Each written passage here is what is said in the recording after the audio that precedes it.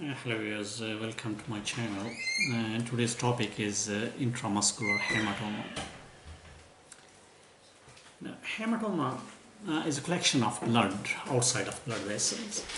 And uh, there are several types of hematomas and they are often described based on their location, you know.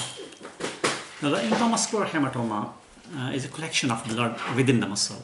And in sport, this is usually the result of a direct trauma, for example, um, a direct blow to thigh or cough in contact sports and muscle tears in uh, non-contact sports, you know. And uh, the treatment aim is uh, a limitation of the bleeding, you know, and uh, the collection of blood uh, causes pain uh, related to either limitation of the movements or uh, the increase in pressure in the tissues, you know. Now, the local pressure compromises the circulation. and surgery is required to relieve and uh, to prevent uh, the tissue necrosis by uh, draining the hematoma.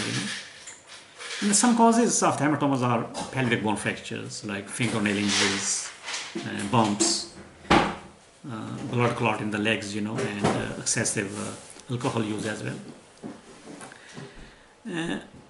Uh, know, the treatment, uh, as I said, depends on which organ and the body tissue is affected.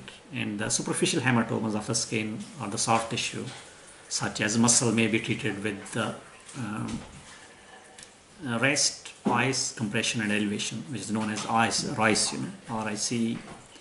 And uh, heat may be considered sometimes. Uh, thank you very much for watching this video. If you need more information, you can visit our website www.diseasesandtreatment.com. And please do not forget to subscribe this channel for more informative videos every day. Thank you. Goodbye.